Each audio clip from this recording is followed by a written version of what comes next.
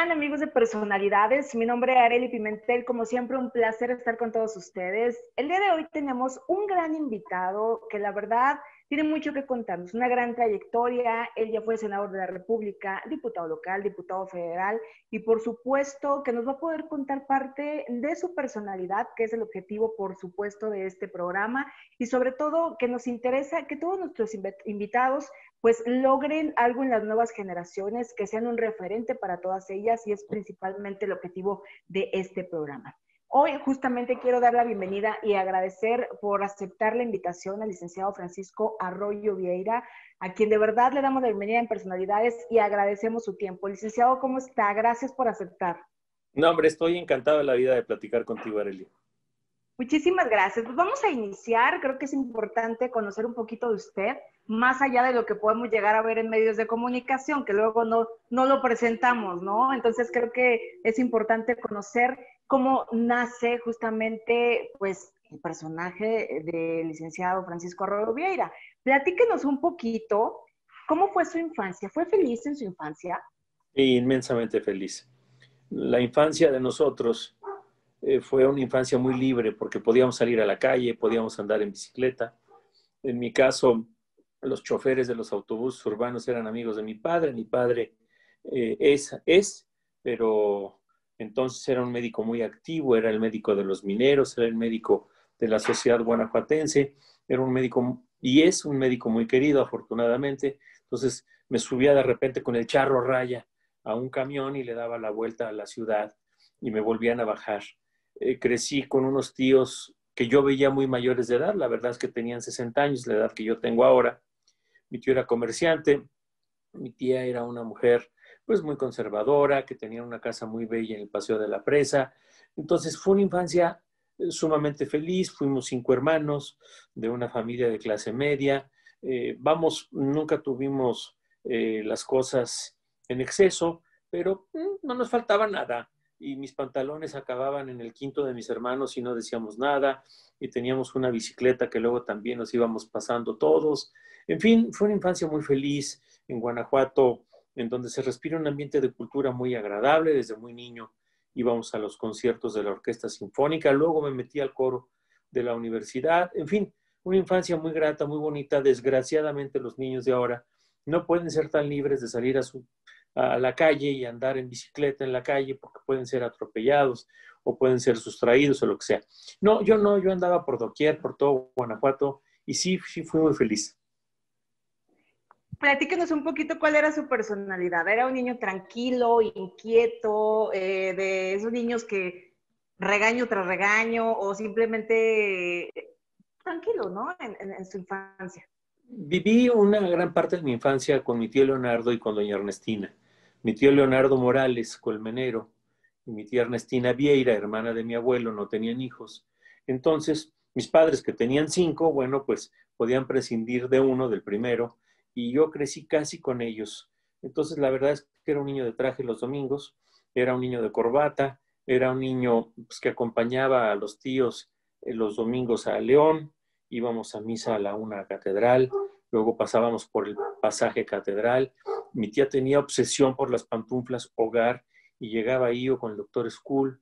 Comíamos en el Hotel León extraordinariamente bien, íbamos a visitar a mi abuelo, regresábamos. Era un niño muy educadito, me decían el mejoralito, un adulto chiquito.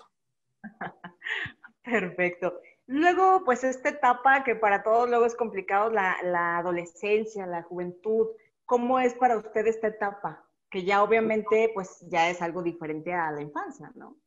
Yo fui un niño muy inquieto, pero con una gran inclinación por la política desde siempre.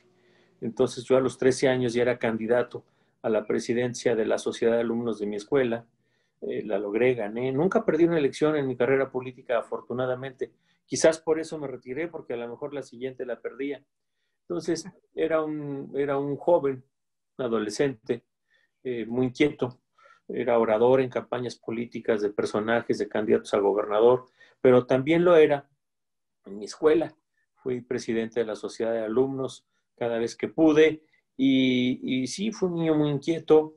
En la prepa ya empecé a, a escribir en el periódico, empecé a ser locutor, operador de Radio Universidad de Guanajuato.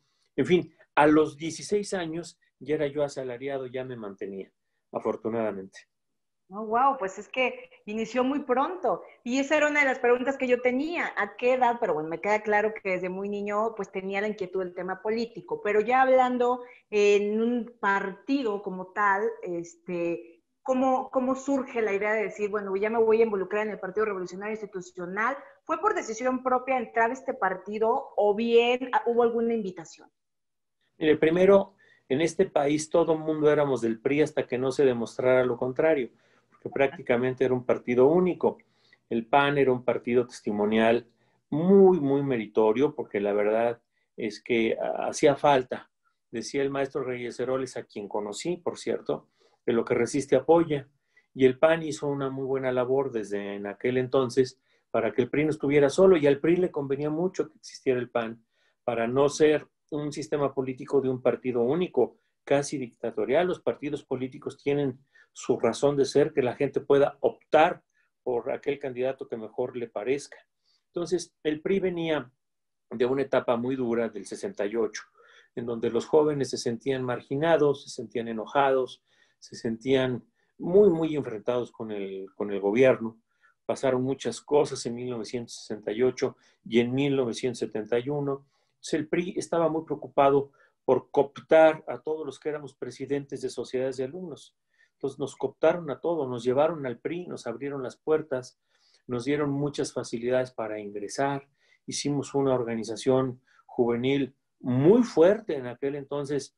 Mis compañeros de organización juvenil eran gentes de la talla de Mariano Palacios, de Beatriz Paredes Rangel, en fin, de un sinnúmero de gentes, muchos que llegaron a ser gobernadores de sus estados. Roberto Madrazo era dirigente nacional en aquel entonces. En fin, lo que les quiero decir es que en el PRI tuvimos muchas y muy buenas oportunidades. Muchos de mis compañeros apenas dieron la edad que la Constitución y la ley les exigía para ser regidores, otros para irse a la Cámara de Diputados, y yo no podía porque era verdaderamente casi un niño, pero el PRI nos abrió las puertas y, ahí estuvimos. ¿Alguna vez pensó en, que iba a, llegar a lugares como la senaduría como la diputación, ¿sí lo imaginaba o se fueron dando las cosas? No, naturalmente. Naturalmente, yo me preparé toda la vida para ser primero diputado. Eh, la primera vez que pude ser diputado local, no lo logré porque no tenía la edad. No tenía 21 años, entonces el, el líder máximo del partido, que era el gobernador en aquel entonces, me dijo, no puede ser diputado porque no tienes la edad y te pueden recurrir tus eh, compañeros de partido que quieren la posición o bien los partidos de oposición y no fui. Luego vino un, un bachito, pero me dediqué a asuntos de partido, a ganar elecciones en Guanajuato y en otros municipios y en otros estados y posteriormente a coordinar las campañas de los candidatos a diputados en mi distrito. Era gente muy buena. Luis Antón Rodríguez fue diputado por mi distrito tres veces, un gran parlamentario mexicano al que yo le coordiné la última campaña. A los 32 fui candidato a diputado.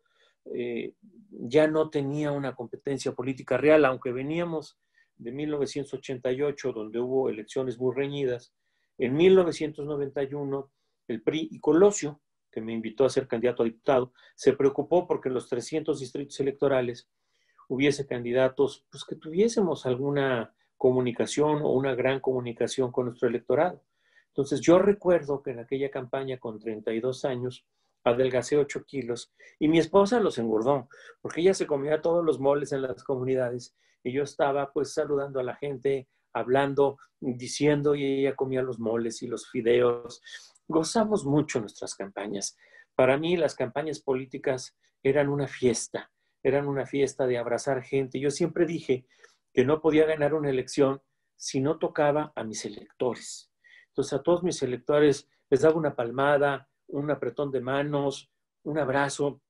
Yo recuerdo que llegaba a la casa de ustedes, a esta casa en donde hemos vivido los 36 años que tenemos de casados, pues con las manos hinchadas, con los pies hinchados de tanto caminar, de tanto abrazar a la gente, con la garganta verdaderamente raspada, porque eran jornadas extenuantes. No había posibilidad de perder porque las encuestas me lo decían pero había que tomar las cosas en serio y con responsabilidad. Y las veces que hice campaña, siempre por Guanajuato Capital, y la vez que hice campaña al Senado de la República, las hice como si tuviese yo todas las eh, posibilidades de perder y no de ganar la elección. Esto es, las hice con el ánimo de llegar al electorado, de escucharlo y luego de regresar tantas veces fuese necesario para, para hacer una gestión por la gente. Y, me da mucho gusto porque de repente paso y veo una calle y digo, esta yo la gestioné, o veo una escuela, o veo el arreglo de un portal, de un de Romita o de Silao, o veo algún pozo en una comunidad y dije, bueno, pues yo me tocó traerles aquí la bomba o arreglarles. En fin, es, es, es la satisfacción del deber cumplido que no siempre se les da a los políticos. Claro, ¿cree que ha cambiado esta manera de hacer política, de hacer campañas? De, digo, de lo que usted nos comparte, de esta experiencia de eh, visitar a tantas familias, a tanta gente, saludarlas, ¿ha cambiado? Sí ha cambiado porque de repente hay candidatos federales o estatales muy fuertes. Entonces los candidatos locales a diputados, este, pues se suben en las campañas de los candidatos fuertes, ¿no? En la última elección prácticamente ganó mucha gente de Morena o en el estado del PAN porque llevaban a candidatos el PAN a gobernador y el Morena, sin lugar a dudas, a la presidencia de la República, y aunque no hicieran campaña iban a ganar. No, yo llevaba candidato fuerte, pero pero hice campaña como, como si fuera el último día de mi vida. Esto es, salíamos de aquí muy temprano, llegábamos muy noche. Repito, eh, yo en cada campaña adelgazaba 8 kilos y mi esposa los engordaba. Ella acababa muy enojada porque decía que, que le dejaba todos los moles y todas las sopas de fideos que nos dieron en muchísimas comunidades, porque aparte, no solo es llegar a decir, ahí viene el candidato a diputado, no, ahí viene el que es tu amigo, eh, voy a llegar a la casa de Matiana a tomar eh, consomé de pollo, o voy a llevar a la casa de Juan Gaitán, a la comunidad de menores, y luego voy a ver, voy a la Calaverna, a la cuarta parte, a San, a San Diego, a San Dieguillo, y luego voy al Pastle, y voy al Jitomatal, y voy a Santa Teresa, y voy a San Isidro, y voy a San José de Cervera, porque, porque en todos lados tenía un amigo, un amigo al que ir a ver, y claro, era mi representante en la casilla, y claro, convencía a sus vecinos de, de votar. Me pasó una anécdota muy chistosa. La primera vez que fui candidato a diputado, en el 91, en el PRI Nacional me dijeron que no tocara Colonia Nuevo México, ni Providencia de Nápoles, ni San Antonio, Texas, que son tres comunidades que están muy cercanas, porque ahí las encuestas nos decían que íbamos a perder muy feo.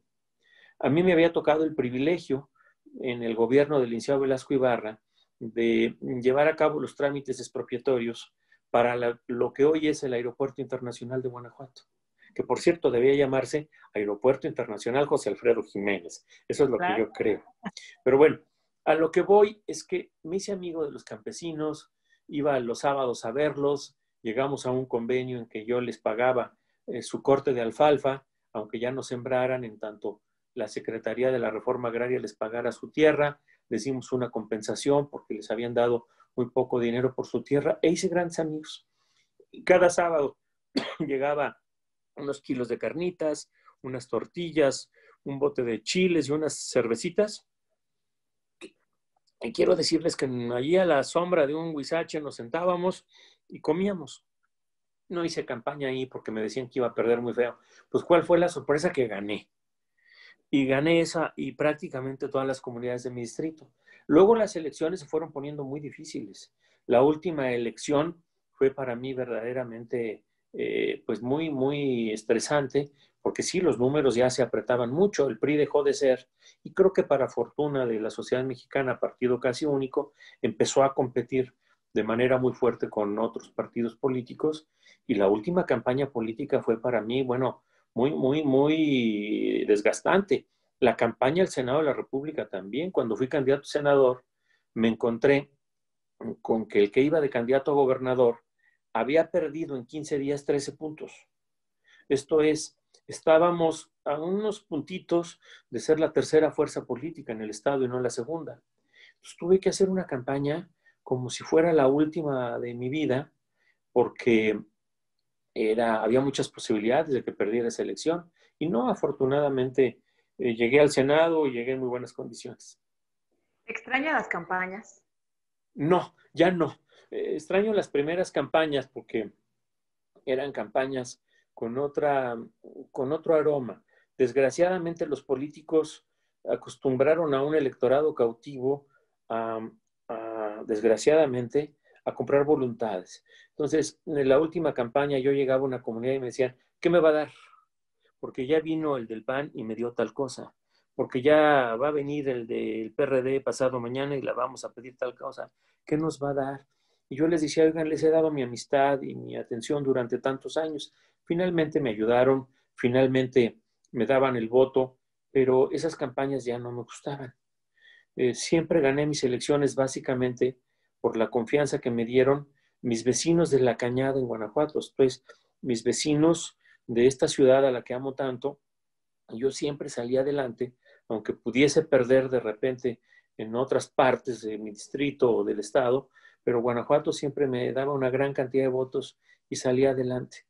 Entonces, mm, sí, ya no, ya no, ya no extraño esas campañas porque aparte se requiere de una gran energía. La política y más la política de tierra es para los jóvenes, ya no es para nosotros. Es para gentes como tú. Ah, bueno. A usted le tocó vivir un momento muy trascendental en, nuestro país. Eh, estaba como, eh, como diputado y luego este cambio donde por primera vez se veía la oportunidad para un partido distinto, para, no, en esta ocasión para el PRI. Y que, bueno, pues hubo cambios en esta ocasión, pues ganó justamente un, un personaje que además era gobernador de Guanajuato, y que el panorama para nuestro país se veía totalmente distinto. Usted, por supuesto, en un partido eh, distinto que era el PRI, tengo una inquietud por saber si en alguna ocasión usted recibió, justo en ese momento de este cambio de, de partido que estaría al frente de las acciones de nuestro país, de gobernar nuestro país, tuvo alguna invitación de algún otro partido en este caso del que estaría en este momento gobernando, para unirse a sus filas. Sí, diez días antes de la elección de Vicente Fox. Me lo encontré, me enseñó las encuestas, coincidimos en un viaje a México, me enseñó las encuestas, me dijo, mira, no hay manera de que no sea presidente de México, estoy muy alto en las encuestas y me encantaría que colaboraras conmigo. Entonces, solo te pido que estés atrás de mí en, el mitin de cierre de campaña. No hables, no declares si quieres, no renuncies a tu partido, solo está atrás de mí. Y mínimamente te voy a ser subsecretario de Estado, mínimamente. Sin embargo, yo era candidato otra vez a diputado, no quise traicionar a mis compañeros que me habían acompañado en la campaña, llegué a ser entonces diputado local. Vicente se enojó mucho, no me habló en tres años, Luego me volvió a hablar porque regresé a México de, diputado federal. Ya nos llamamos, nos invitó a mi esposa y a mí a Los Pinos. Martita Sagún cocinó un, un, espagueti. Y yo estaba un poco nervioso porque nunca se quitó los anillos y con la mano revolvió el espagueti. Yo no sabía qué tanta higiene pudiese haber en los anillos, pero finalmente nos comimos el espagueti, nos bebimos un vino y entonces me pidió que le ayudara para hacer algunas reformas estructurales. Iba, íbamos a empezar a tratar de hacer las reformas estructurales. Algunas se lograron, otras no. Pero sí me invitó, me invitó. Luego ya en el gobierno me invitó a ser eh, subsecretario de gobernación y tampoco acepté. Y mm, algún gobernador del PAN de Guanajuato me invitó a ser secretario de gobierno y, no, no acepté. El PRI fue conmigo muy generoso, me dio oportunidad de ser su candidato en siete ocasiones y consideré que eh, para el político la autoridad moral y la congruencia era un valor fundamental. Yo siempre he dicho que el tránsfuga, esto es el que sale de un partido y se va a otro, queda mal dos veces. Quedan mal con sus compañeros de partido que lo fueron, aun cuando cuando el PRI ahorita está en pésimas condiciones, pero también queda mal con los compañeros nuevos de partido, porque nos ven como advenedizos. Entonces preferí, cuando me retiro de la política, hacerlo desde una militancia pasiva. Esto es, no renunciar al PRI, no participo en el PRI, pero estoy en paz. Claro, claro, eso es importante. Hay una pregunta que yo creo que muchos guanajuatenses, al igual que yo, nos hacemos. Una figura como usted, con su trayectoria, con la preparación que tiene, ¿por qué nunca fue candidato a gobernador de Guanajuato? Porque no me dejaron.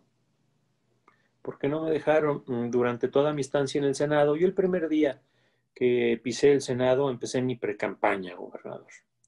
Entonces recorrí el Estado muchísimas veces. Entonces se podía recorrer el estado con una enorme placidez, porque había condiciones de seguridad extraordinarias, porque llegaba a Yuriri al Donají con el güero a, comerme un caldo de pescado blanco, luego me iba con mi amigo eh, don Rogelio Serna a Moroleón, o luego me iba con Baldo Chavero a Victoria, o con mis amigos Landaverde a Jichú, llegaba con los Mendoza San Luis de la Paz, en fin, yo tenía una misión, tenía un gran amigo en cada municipio. Hablaba con el cura del pueblo, me platicaba qué pasaba, con las damas voluntarias del hospital, me reunía a desayunar con el Consejo de la Cruz Roja. Fui durante muchos años presidente de la Cruz Roja de Guanajuato. Eh, no sé, de repente me invitaban a una sesión del Club Rotario. no había manera de que perdiera esa elección, porque fui invitando a muchos personajes muy prestigiados en las sociedades locales, pero también a personajes de otros partidos políticos. Entonces, no había manera de que yo perdiese la elección del 2012, no había manera. Pero no me dejaron. El candidato presidencial habló conmigo, me dijo que no me convenía ser candidato. Eh, este, eh, en fin, creo que había compromisos extra mm, partidistas que había que cumplir.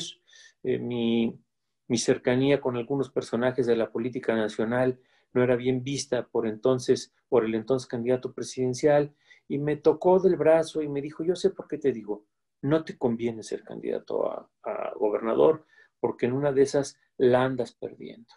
La verdad es que yo no veía cómo perder, y me dijo, pero, pero sé que si la ganas, no vas a aceptar un resultado adverso y te vas a meter con 10 mil gentes a Palacio de Gobierno. Le dije, tienes razón. Pero no me voy a pelear con el candidato a la presidencia de la República, que va a ser presidente de México, porque entonces va a castigar al Estado.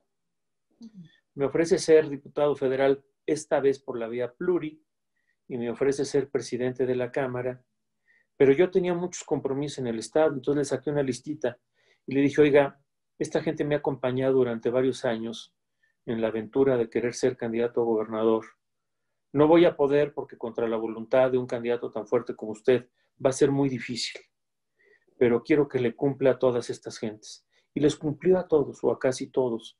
Y por eso es que este, no fui candidato a gobernador, no fui gobernador, me faltó, ser, me faltó ser gobernador, me preparé toda la vida para ser gobernador, no lo fui, yo creo que ya no lo seré, ya es muy difícil, no estoy en la política militante activa, no hay condiciones ya pasaron mis mejores momentos, estoy inactivo en la política, pero a este estado al que amo tanto, lo conozco como la palma de mi mano y conozco, puedo contarle una anécdota de cada municipio del estado. Y cuando un político logra eso, es que conoce profundamente a su estado.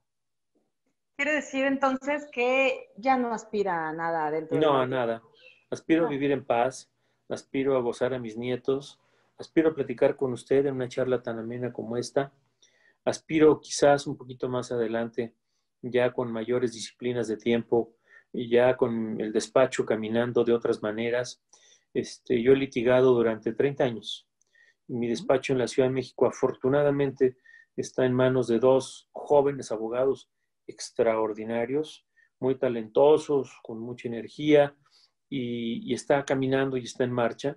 Entonces aspiraría a por concurso de oposición ganar una cátedra en la Universidad de Guanajuato o ir como voy hasta ahora a dar charlas esporádicas de derecho parlamentario, de derecho constitucional, en algunos casos sobre la nueva ley de amparo, pero hasta ahí, ya, ya no quiero más.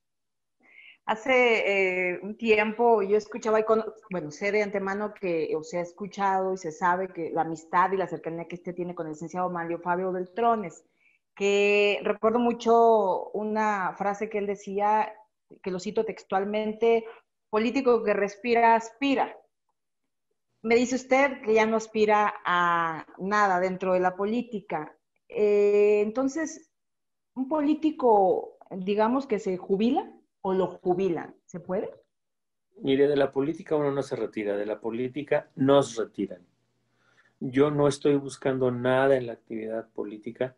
Me invitan, me hablan dirigentes nacionales de partidos. ¿Qué quisiera yo para la política en mi estado? Hombre, un sistema de pesos y contrapesos. Durante muchos años luché porque una nueva generación de políticos llegara y tuviese oportunidades. Ya hay muchos que andan por ahí y muchos a los que si yo puedo ayudar, puedo, lo voy a hacer. Porque hay mucha gente, hay trincheras de, otros partidos que se están abriendo. En el PRI se dio una lucha intestina eh, muy grotesca con personajes de la política dinosauricos, rapaces, y que llegaron y literalmente tomaron el PRI a patadas, sin ningún recato. Entonces yo dije, esto ya no es para mí, ya no es para mí los golpes bajos. Eh, yo durante muchísimos años consolidé un patrimonio a lo largo de mi trabajo en el despacho, pagando tributos, declarando, etcétera, pero los golpes bajos siempre están ahí. Preferí retirarme un rato, preferí consolidar mi despacho, consolidar algún negocio empresarial, hotelero en la ciudad de Guanajuato, que inicié hace muchos años. Uno de los hoteles está a punto de cumplir 10 años de exitosa vida al servicio de, los turistas. Entonces me retiré para eso, me retiré para organizar un poco mi vida personal, para organizar un poco mi despacho, que ha sido afortunadamente muy exitoso. Primero con asociaciones, con abogados celebérrimos en la Ciudad de México, en, el despacho de Palmas 1870, ahora en la colonia Roma, donde estoy, en una vieja casa porfiriana, muy pequeña, pero muy bonita, con mucho sabor, donde estoy con el licenciado Cortés y con el licenciado Fernández, que son dos jóvenes que me acompañan en las lides de ir a los juzgados y de preparar los cursos y de eh, planear las cosas. Entonces, estoy bien así, estoy contento no quiero volver a ser gente políticamente expuesta, pero sí quisiera que los jóvenes que me acompañaron, que se hicieron a mi vera, tengan oportunidades y haré lo que tenga que hacer para que ellos tengan oportunidades. Yo creo que yo ya no.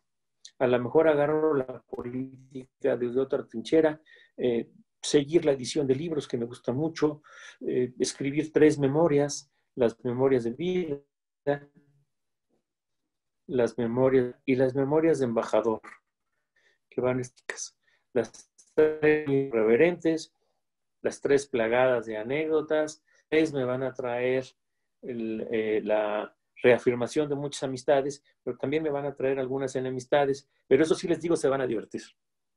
Ok, las esperaremos. Entonces, licenciado, en su trayectoria, en su carrera como diputado, como senador, ¿recuerda usted alguna decisión que haya tomado que le haya generado una gran satisfacción?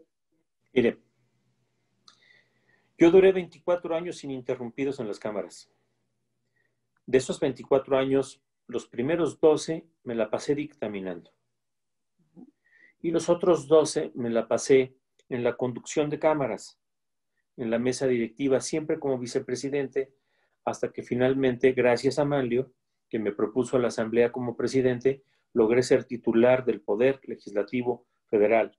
Que uno habla de tú a tú con el presidente de la República porque ambos, en jerarquías constitucionales, pues estamos a la par. Hay un momento, hice muchas cosas, muchas cosas de las que estoy profundamente orgulloso como legislador. La nueva ley de amparo, las reformas estructurales, entre otras la energética, ¿eh? por cierto, de la que estaba yo plena y total y absolutamente convencido, nadie necesitaba convencerme. Fui promotor e iniciante de la ley de energías limpias, fui un promotor muy activo de las leyes antitabaco, de los gravámenes hacia la comida chatarra y los refrescos, en fin, creo que hubo, bueno, la reforma ah, de telecomunicaciones. Ya no nos damos cuenta, pero usted y yo no podríamos estar usando este aparato sin una reforma de telecomunicaciones. Usted puede tomar su teléfono y hablar a Chicago como si fuera una llamada local. No nos acordamos, ¿eh? Antes hablar de Guanajuato a Silao, del 473 al 472, para saludar a mi amiga, a, mi amiga, la, la, señora Ruiz Ledesma, a doña Esther, y pedirle unos tacos de tripas que en su casa hacen maravillosamente, este, tenía yo que marcar larga distancia. Ahora, cuando fui embajador en Uruguay, me llevé mi teléfono de México, compré un paquete de Latinoamérica y hablaba como si fuera local, de Uruguay a México. Bueno, todas esas cosas me tocó hacerlas. Pero hay una de la que estoy profundamente orgulloso.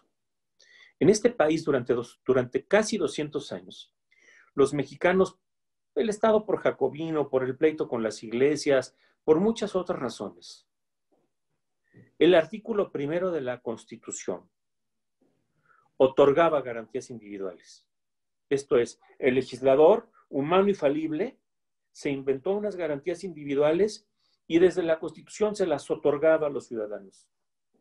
Fue mi maestro, don Eugenio Trueba Olivares, quien nos convenció a mí y a todos sus alumnos que el Estado y la Constitución no otorgaba garantías individuales, sino reconocía derechos humanos fundamentales, los que usted y yo tenemos por el simple hecho de ser seres humanos, más allá de la voluntad falible o buena o corrupta de un legislador.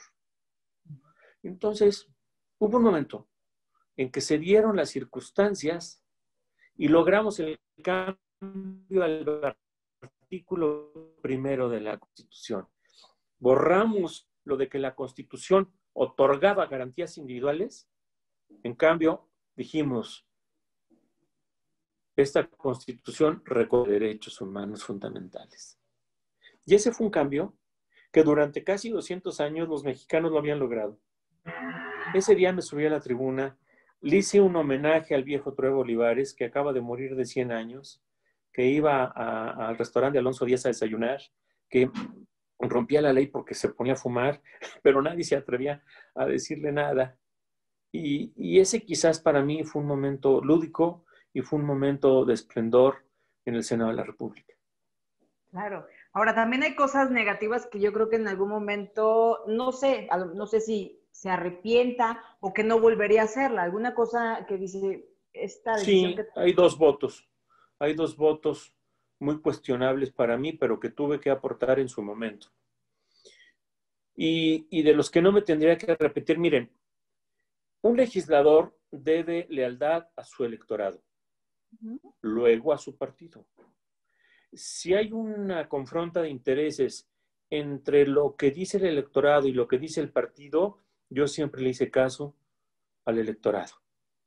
Y afortunadamente nunca estuve en un proceso de disciplina partidaria. Al contrario, fui presidente de la Comisión Nacional de Justicia Partidaria, la que imparte justicia para aquellos militantes que se portan bien premiándolos castigándolos si se portan mal. Y miren que castigué a varios.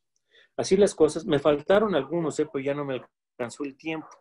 Pero miren, es, es muy sencillo. El voto por FOAPROA, por ejemplo. Teníamos el peligro, el riesgo de que millones de mexicanos perdieran sus ahorros, de que tuviesen un carralito. Ya los banqueros habían perdido su patrimonio, porque los banqueros habían perdido sus bancos. Pero los mexicanos iban a perder sus ahorros. En, otros países del mundo, el rescate bancario había costado cinco veces más y había sido cinco veces menos efectivo. En México lo hicimos a tiempo, le costó, nos costó a todos los mexicanos mucho dinero. Hubo algunos empresarios que se fueron vivos porque sí, seguramente hicieron algunas pillerías, pero la gran mayoría perdió su patrimonio y los banqueros perdieron sus bancos. Entonces, ese fue un debate muy cuestionado que de repente, pues como que nos daba vergüenza decir Botel fue a proa. Pero a la hora que veo que los mexicanos no perdieron, como en Argentina y como en otros países ahorros, digo, bendito sea Dios. Otro voto para mí muy cuestionado fue el de la reforma fiscal, la última, de la sexagésima segunda legislatura, porque fue un paquete fiscal que nos vendió la izquierda, que tuvimos que votar con la izquierda, el PAN lo votó en contra, fue una reforma fiscal eh, pues que apretaba mucho fundamentalmente a los empresarios, pero luego con las crisis que vinieron después, pues afortunadamente hicimos la reforma fiscal. Ahorita estaríamos en la lona, ahorita estaríamos verdaderamente pues pidiendo fondos de emergencia para un rescate de la economía nacional y no estamos en eso porque sí, los mexicanos pagamos muchos impuestos, las personas físicas ahora que solo soy, este, que estoy al frente de, de, las finanzas de empresas, pues me doy cuenta que pues, uno trabaja prácticamente para el gobierno. Entonces, sí, mi voto por la última reforma fiscal, sí me arrepiento de él, pero también entiendo que fue un mal necesario. Claro. Licenciado, estamos a punto de entrar a un proceso electoral 2021. ¿Cómo, cómo lo visualiza?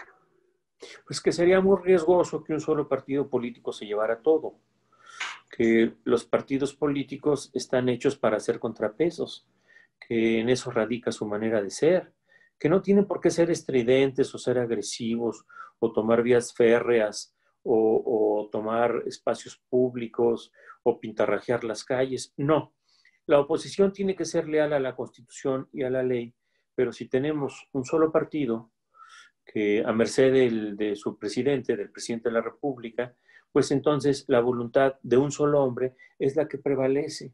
Y eso no nos conviene durante muchos años. Los mexicanos que vimos cómo los presidentes del PRI hacían lo que querían, que le atinaban que bueno, pero de repente se equivocaban y nos dejaron crisis económicas espantosas.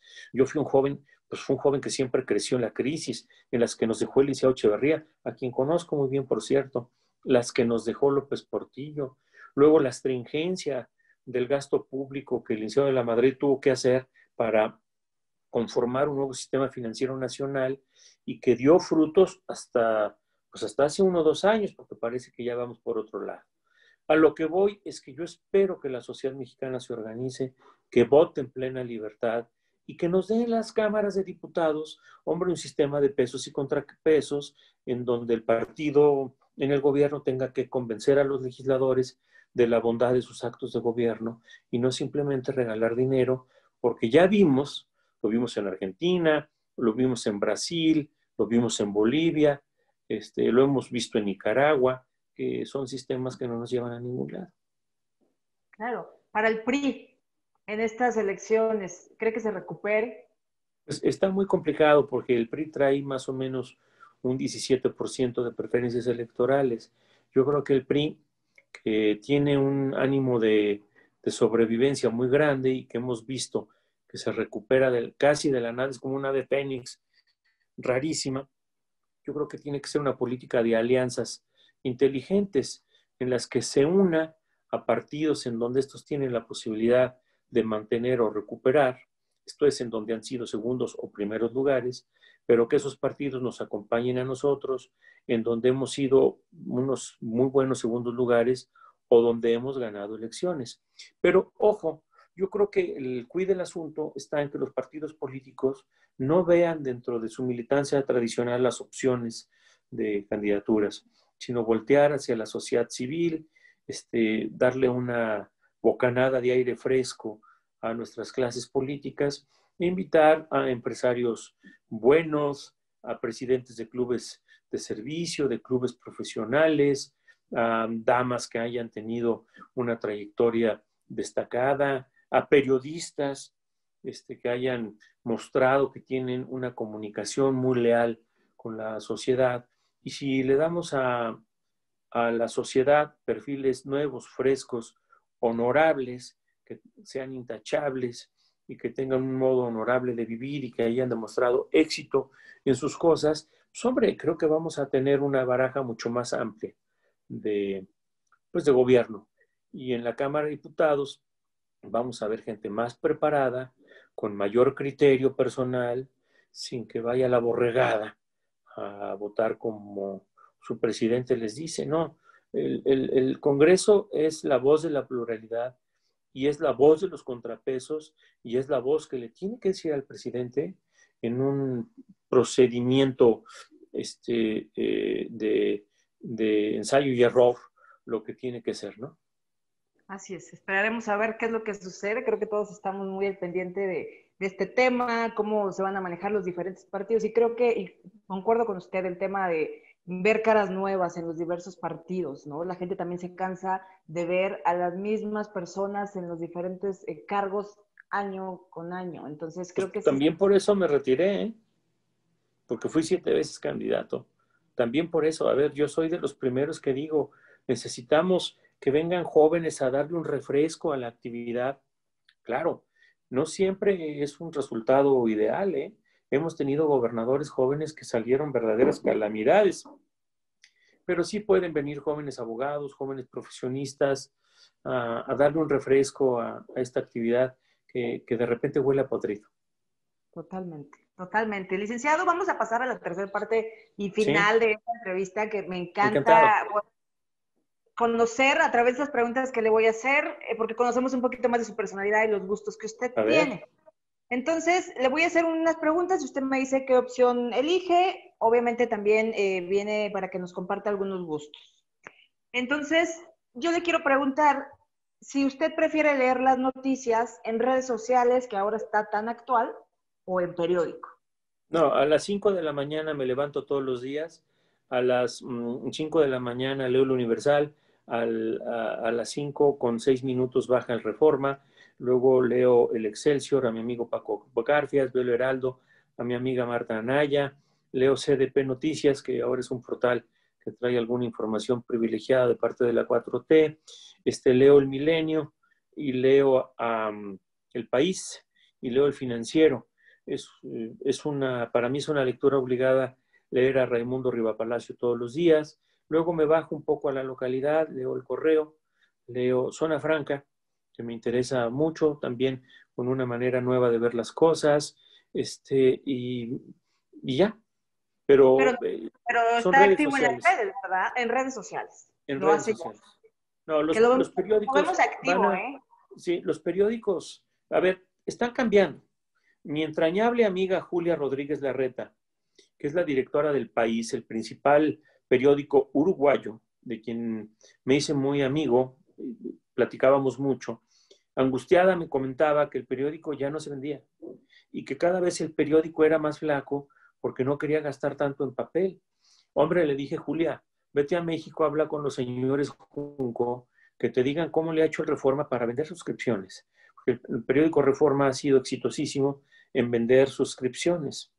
Bueno, lo hizo y ahora leo El País Uruguayo, de repente me meto a chismear ahí, a ver quién sale en la revista Galería o en sociales de los periódicos uruguayos o cómo le está yendo a poquito en la calle, a quien conocí muy bien en Montevideo, que ahora es presidente de la República, muy joven y muy fresco, muy bueno, por cierto. Entonces, este, eh, pues ya veo que si no me suscribo y pago una pequeña cuota, pues no puedo ingresar. El periódico El País lo está haciendo. El periódico El País te deja un par de párrafos de sus primeras eh, de sus notas y luego tienes que pagar un euro por estos meses y luego 10 euros mensuales, pero tienes la satisfacción de ver el país semanal, que es una gran revista.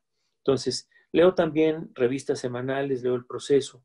Los sábados por la tarde estoy suscrito, pago mi, numerario. En fin, eh, me gusta mucho. Claro, justamente con esto de la lectura, porque sé que le gusta leer mucho, ¿prefiere los libros digitales o sigue con los libros? No, ahí sí el papel, ahí sí el papel. ¿Eh? Ahí sí el papel. ¿Qué prefiere? Me gusta la textura del papel. O sea, Vargas no es lo, no es lo mismo, no es lo mismo en, el, en, el, en la aplicación. No, no, totalmente. me gusta el papel. Muy bien. ¿Qué prefiere, legislador o ser diplomático? Eh, ser diplomático después de haber sido legislador. De acuerdo. ¿Qué, tipo de música escucha? Mm, clásica. Soy mozartiano eh, y redento. Soy mozartiano y redento. Las óperas de Mozart este, me, encantan, las bodas de Fígaro, ¿no? Eh, cuando empieza a, a, Leoporello a, medir la cama, ¿no? Bueno, me, me encanta. Ok. La marcha de... la gloria militar, en fin. ¿Qué tipo de películas le gusta ver? Hay películas que volvería a ver eh, 20 veces en mi vida. Ojos bien cerrados de Kubrick, Naranja Mecánica, Hable con ella de Pedro Almodóvar, por ejemplo. Y hay otras mexicanas, bueno, Amadeus de Milos Forman, sin, sin lugar a dudas, sobre Mozart, pero hay otras que, que me gustan mucho y que son mexicanas y en las que, por cierto, pues, conozco a los actores y a los productores. Acabo de ver ayer, por quinta vez, Arráncame la vida, sobre una novela de Ángeles Mastreta y sus obsesiones por el jugo de naranja con Daniel Jiménez Cacho. Eh, me tocó hacer cine, me tocó hacer cine y me tocó hacer las leyes de cine de este país. Eh, la primera ley de cine Mm, la hice con Silvia Pinal. Con Silvia Pinal, la primera, después de muchos años, hicimos una ley de cine que, hizo resurgir al cine nacional e hicimos el Fidecine, eh, eh, cuya madre fue Silvia Pinal. Luego hice el Foprocine, un ajuste a la ley de cinematografía, cuya madre fue María Rojo. Y la última, el, el EFICINE, el 226 eh, de apoyo al cine nacional que ha sido tan exitoso, que es un fideicomiso, cuya madre fue Beatriz Paredes. Pero sí, hay películas que puedo ver mil veces. Hay películas de Luis Buñuel, El Gran Calavera, por ejemplo, que lo puedo ver 20 veces, o Ensayo de un Crimen. Me, gusta mucho el cine. Y hay directores que son mis, mis favoritos. Justamente aquí me surgió una, una pregunta que no tenía pero que con el gusto que usted tiene por el cine, que hubiera, si no hubiera sido político, ¿se hubiera enfocado en el tema del cine? No, el sueño de niño, mi sueño incumplido, eh, lo que yo quería hacer de niño era ser director de orquesta. Y empecé a estudiar. Y tuve a compañeros destacadísimos en la escuela que ahora son grandes directores de orquesta, como Enrique Dimec, por ejemplo, que ahora son grandes directores de orquesta. Eh, me gusta mucho la música, estudié solfeo, estudié eh, armonía, puedo leer eh, una partichela o una partitura, el requiem de Mozart me lo sé compás por compás, la coral, la parte del cuarto de, de, la novena de Beethoven me lo sé compás por compás, en fin, hay, hay, hay una gran empatía por la dirección de la orquesta. No fui director de orquesta, pero sí fui director este concertador de la Cámara de Diputados como presidente, nada más que ahí los timbales van por donde quieren y el trombón toca a la hora que quiere y es un lío. Totalmente, totalmente. ¿Qué tipo de arte? Pero es lo más cerca que estuve de ser director. Me gusta mucho el arte contemporáneo. Desde que tenía 17, 18 años soy coleccionista de arte. Eh, este, logré tener una buena colección de arte sacro pero ahora, sin lugar a dudas, el arte contemporáneo me tiene, me tiene en sus manos. Los oaxaqueños me gustan mucho, me gusta mucho Sergio Hernández. Ya ni hablar de los que ya son inalcanzables, ¿no? Como Rufino Tamayo. Eh, conocí a Chico Toledo. Eh, eh, me, me, gustaba mucho Rodolfo Morales. Tengo alguna cosita de Rodolfo Morales. Fui muy buen amigo de Olga y José Chávez Morado, fueron nuestros testigos de boda. Fui entrañable amigo de Jesús Gallardo, que prácticamente comía con nosotros pues, todos los domingos. Este, eh, soy compadre de Capelo, tengo ahí una muy buena relación con Capelo, pero ahora que estuve en Uruguay, logré hacerme en algunas subastas y a precios muy razonables de algún Torres García, de algún Figari, eh, sin lugar a dudas, el artista uruguayo que más me gusta ahorita es Ignacio Iturria. Nacho Iturria, que va a ser el nuevo Joaquín Torres García, sin lugar a dudas, va a ser un pintor muy cotizado en las altas esferas del arte contemporáneo. Nos hicimos muy amigos. Se vino conmigo un mes a, Guanajuato recientemente. Me hizo un cuadro, me retrató, este, lo sacó de su mente, pero um, es muy chistoso. Pero bueno, pues esos son, son mis preferidos sin lugar a, dudas. ¿Practica algún deporte? Camino, camino, camino dos horas diario, voy al gimnasio un poco, eh, eh, lo hago sin, sin, dirección y tengo que hacerlo con dirección, porque si no uno empieza a convertirse como en un tractorcito y luego nada un poquitito. Sí, sí hago ejercicio todos los días, porque, em, porque me gusta comer y me gusta beber. Entonces estaría mucho más gordo de lo que estoy. Licenciado, ¿cuál ha sido el, mejor consejo que le han dado? En política la tarugada es la primera, las demás son consecuencias. U otro. La única manera de que las cosas malas no se sepan es no haciéndolas. Total, totalmente. ¿Y el peor consejo? El peor consejo, pues hombre, no, no le quiero decir porque no les he hecho caso. Ok, perfecto. Licenciado, yo agradezco muchísimo que me haya permitido conocer un poco más de usted. La verdad es que siempre es importante cuando vemos figuras como usted, conocer más a fondo cómo inicia en esta carrera y en esa trayectoria que tiene. Le agradezco muchísimo. Un, abrazo y muchas gracias por esta espléndida charla. Buen provecho. Muchas gracias. Y gracias a ustedes que nos están viendo. Tendremos muchas más entrevistas, personajes que de verdad nos dejan una gran enseñanza. Esperen la próxima entrevista. Hasta luego.